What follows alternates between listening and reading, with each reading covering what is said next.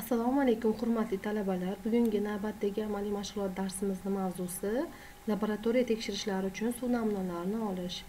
Ya'ni biz vodoprovod suvidan va ochiq suv havzalaridan qanday qilib namunalar olish haqida tanishib chiqamiz. Suv inson hayotida muhim ahamiyatga egadir. Uning ahamiyati faqatgina inson va hayvon hayoti bilan bog'liq bo'lmay balki o'simlik dunyosi uchun ham juda muhimdir. Suv havzalaridagi suvlardan foydalanishni asosiy turlaridan biri bu aholi yashash joylarini suv bilan ta'minlanishidir. Inson hayot faoliyatida suvni gigiyenik va epidemiologik ahamiyati juda muhim o'rin tutadi. Aholini sifatli xo'jalik ichimlik suvi bilan ta'minlashdagi sanitariya nazoratini muhim epidemiolog elementlaridan biri suvni davlat standarti to'qqiz yuz ellik ikki ming o'n bir ya'ni ichimlik suvi gigiyenik talablar va sifatini nazorat qilish talablariga muvofiqligini muntazam laboratoriya nazoratidan o'tkazib turish hisoblanadi. Suv manbalarini tanlashda esa davlat standarti to'qqiz yuz ellik bir ikki ming o'n bir ya'ni markazlashtirilgan xo'jalik ichimlik suvi bilan ta'minlash manbalari gigiyenik texnik talablar va tanlash qoidalari talablariga mos kelishini nazorat qilishdir. Shuning uchun vrach suv namunalarini to'g'ri ola bilishi va laboratoriya tekshiruvlarini muhim qismi bo'lgan fizikaviy va organoleptik xossalarni aniqlay olishi kerak.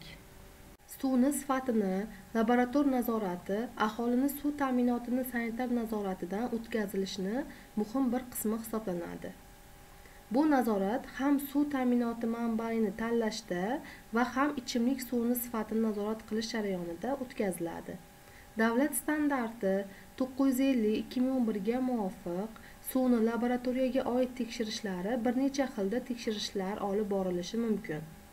Ularni tekshirish davrlari esa o'tkaziladigan tekshirishlarni turiga suv bilan ta'minlanadigan aholi soniga epidemiologik vaziyatga radiatsion vaziyatlarga bog'liq bo'lib ular davlat standartida ko'rsatilgan. Ko'pincha qisqartirilgan tekshirishlar o'tkazilib ularni asosiy tarkibiga mikrobiologik ko'rsatkichlar suvni hidi ta'mi loyqaligi va ph kiradi. Davlat standarti to'qqiz yuz ellik ikki ming o'n bir bo'yicha ichimlik suvini sifati epidemiologik jihatdan xavfsiz organoleptik xususiyatlari bo'yicha yoqimli kimyoviy tarkibi bo'yicha zararsiz va radiatsion xavfsiz bo'lishi kerak.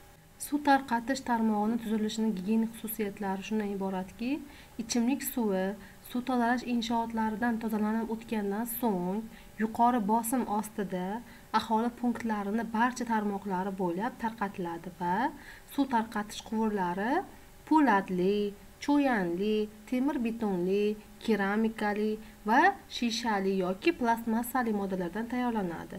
Bu quvurlar 5 atmosfera bosimidan 25 atmosfera bosimigacha chidashi mumkin. Suv tarqatish quvurlarida suv muzlab qolmasligi uchun yerni muzlash qismidan 0,5 metr chuqurligida o'rnatilishi kerak.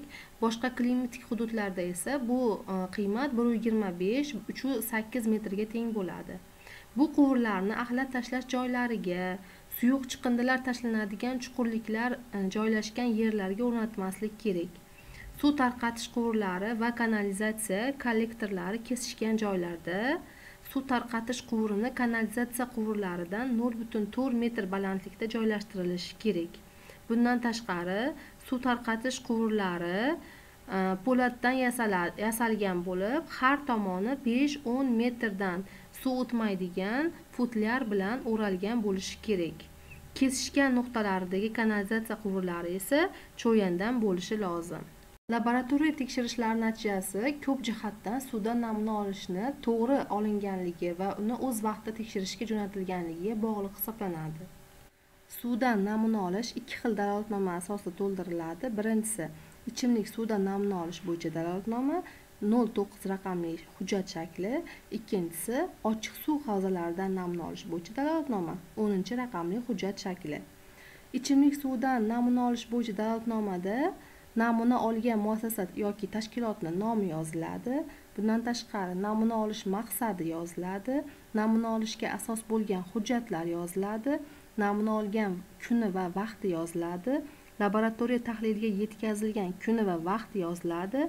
Laboratoriya namunasiga olib borilgan laboratoriyani nomi bilan manzili yoziladi. Yetkazish sharoiti saqlash sharoiti konservatsiya usullari yoziladi. Bundan tashqari namuna olingan alohida shartlar yoziladi qo'shimcha ma'lumotlar yoziladi namuna olishda ishtirok etgan shaxsni lavozimi familiya ismi sharifi yoziladi namuna olgan shaxsni lavozimi va familiya ismi yoziladi imzo qo'yiladi va laboratoriyaga namuna bilan yetkaziladi. Suv tarqatish tarmog'idan ikki xil ya'ni bakteriologik tekshirish uchun va fizik kimyoviy tekshirishlar uchun suv namunalari olinadi. Bakteriologik tekshirish uchun suv namunalari quyidagi tartibda amalga oshiriladi. Spirt lampasi alangasida jumrak qizdiriladi va suvni 10 daqiqa davomida oqizib qo'yiladi. So'ngra suv namunasini shisha idishga olib idish og'zi ham alangada qizdiriladi va mahkam yopiladi.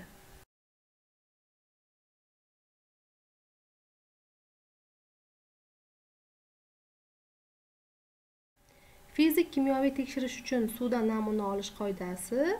Bunda ham suv namunasini olishda o'n daqiqa davomida suv oqizib qo'yiladi. Idishni shu oqizilgan suv bilan chayqatiladi va e, suv bilan to'ldiriladi va og'zi yopiladi. Ochiq suv manbalaridan namuna olishda namunani qirg'oqdan besh o'n metr ichkaridan Э, suv manbasini o'rtasidan nol butun besh bir metr chuqurlikdan lozim bo'lganda undan ham chuqurroqdan namuna olish tavsiya etiladi. Kerakli chuqurlikda suv namunasini olish uchun maxsus asbob batometrdan foydalaniladi. Batometrni rasmini ko'rib turibsiz yoki tosh bog'langan va uzun ipga bog'langan shisha idishdan foydalanilishi mumkin. Bunda ikkinchi ipni idishni qopqog'iga bog'lanadi va undan suv olish vaqtida foydalaniladi. Kerakli chuqurlikka idishni tushiriladi so'ng qopqoq ipi keskin tortiladi idishni og'zi ochiladi va unga suv kiradi.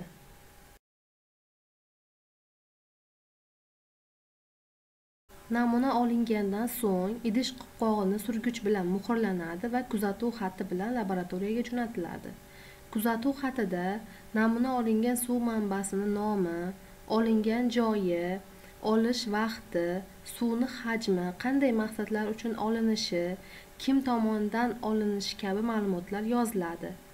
Agar namuna suv manbaidan olingan bo'lsa kuzatuv xatida namuna olish vaqtidagi ob havo sharoiti ko'rsatiladi. Olingan namuna iloji boricha laboratoriyaga tez yetkazilishi kerak. Imkon bo'lsa ikki soat ichida. Agar buni ilojisi bo'lmasa u holda suvga konservant qo'shiladi.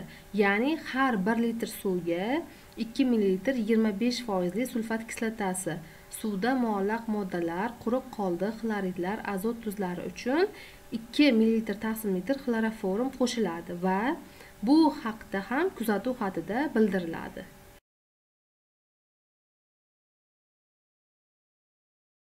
Hurmatli talabalar mana biz suv tarqatish tarmog'i va ochiq suv havzalaridan namuna olish qoidalarini bilib oldik. Mavzularni yaxshilab o'zlashtirib olasizlar degan umiddaman. E'tiboringiz uchun rahmat.